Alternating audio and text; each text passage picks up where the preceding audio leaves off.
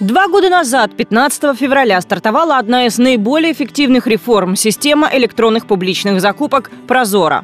Досі не брали участі в державних закупівлях? Бо чули про стару систему і не вірите, що вона змінилася. Прозоро доводить, що можна торгувати з державою просто та чесно.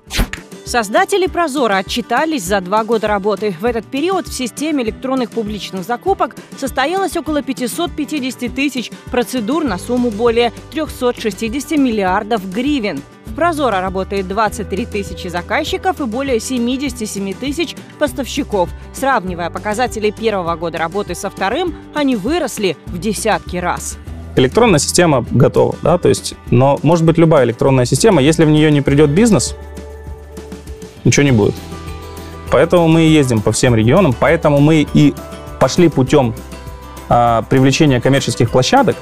Вот. Не только потому, что мы верим, что должна быть конкуренция за клиента, и именно конкуренция – двигатель прогресса и главный источник развития сервиса, но и в том числе потому, что мы же позвали уже, ну, многие, многие компании, которые на сегодня являются площадками, и любые компании могут быть площадками, они это компании, которые уже предоставляют подобный сервис в корпоративном сегменте, и у них уже есть готовые базы поставщиков.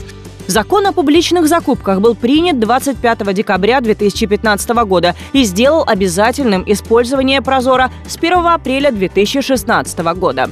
Для центральных органов исполнительной власти и монополистов, а с 1 августа 2016 для всех государственных заказчиков.